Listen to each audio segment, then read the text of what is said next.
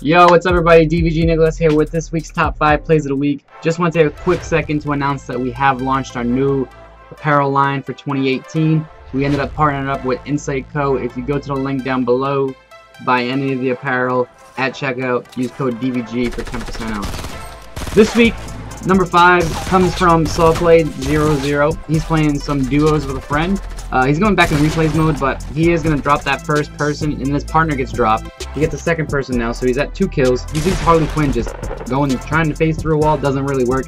Gets three fast kills, and does get his teammate up. So nice play right there from Sawblade. excuse me, excuse me. Coming in at this week at number four, we have DVG Monster playing Rocket League. The man loves this game. I don't know. I'm going to try and get into it myself, but here we go. Final 10 seconds of the game. They already have the game won, 3-1, so this is just some fancy stuff right here. Four seconds, bounce out off the wall, and he gets that nice goal at the buzzer. I mean, there is two seconds left, but basically at the buzzer. Nice shot, Monster, for this spot, number four. This week, number three, we have DVG Crypto playing 50v50, and he got that minigun. Yo, if you get a minigun, you gotta drop it and give it to Crypto right away. Love that gun.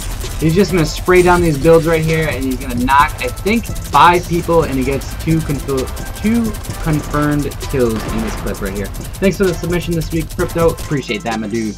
Coming in at this week's number two spot, I'm just to let the clip talk for itself because this is a clip from Mr. Cleanup's Twitch, also in the description down below. Enjoy. I'm thinking a green C or black sea with a green out blue and green outline. Oh, oh, dude, someone clip that. Oh, that was perfect. Oh my gosh, that guy's probably killing himself. Nice shot. Now, uh, I can't tell how long it, but I would take that it was about 100, 150 meters because face cam was in the way. Coming in this week's honorable mention is myself. I'm playing duos with Grimmy, and I, there was like three squads around us right here. He was in front of me. I did explode the teammate that went down. Grim gets knocked down by this guy in the tunnel. He's trying to finish him, and I ain't gonna let that happen. Hit that perfect rocket right there, knocked out that dude, and I get the revive just in time. Coming in at the golden spot this week, clip number one, we have a new member to DVG, DVG Dapper Dan playing some World War II, and he's just gonna go to work. It could have been an easy three-piece right there, so it's a split triple.